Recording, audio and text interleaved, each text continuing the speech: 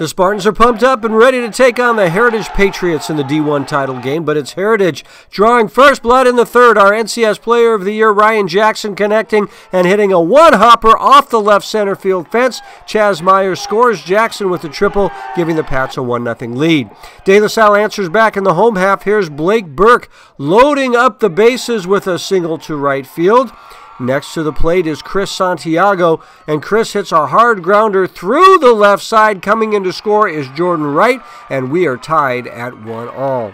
Kyle Harrison keeps the line moving with a single through the left side. Nick Fusari scores. De La Salle putting up five runs in the third inning. Harrison, our NCS pitcher of the year, doing work on the mound, earning 10 strikeouts in this game. Harrison also having a day at the plate. The UCLA commit coming up and smokes this one to center field, bringing in two runs. Fusari and Burke score, and it's a 7 to 1 Spartan lead.